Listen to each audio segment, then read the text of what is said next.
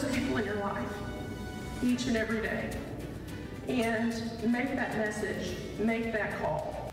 New at 10, family and friends remember a Bristow teacher who died shortly after his dream of becoming a teacher came true. There was a celebration of life for Marty Bernstein at the Mount Olive First Baptist Church outside of Mannford today. News Channel's DeNeeka Hill was there for it. DeNeeka, you got a chance to talk to his family about the impact he had on so many lives. Yeah, Kim, both his sister and his uh, son tell me that children and education were his passion. They say he wouldn't think twice if someone needed his help, despite his own health complications.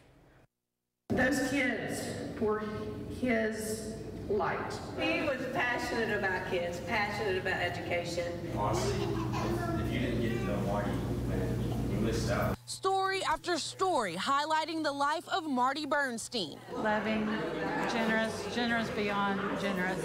Bernstein passing away after a nearly 20-year battle with a heart disease. He had a second open heart surgery, and before he made it out of recovery, it closed.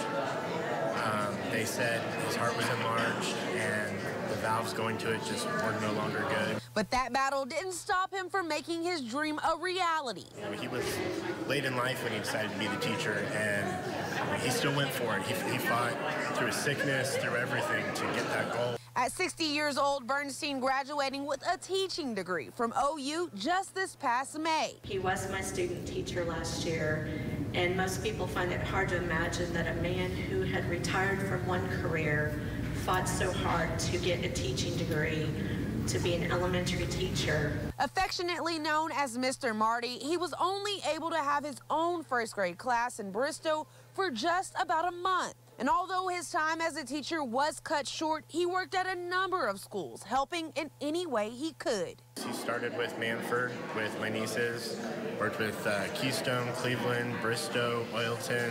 I worked a lot with him within the athletic department. Uh, he did so much for the food pantry and the clothes closet that was up there at the school and anything that you needed done his students have been split into different classrooms, and his sister tells me the school plans to leave his classroom exactly the way it was. That's the way they're going to remember Mr. Marty for the remainder of the year. DeNeeka Hill, News Channel 8.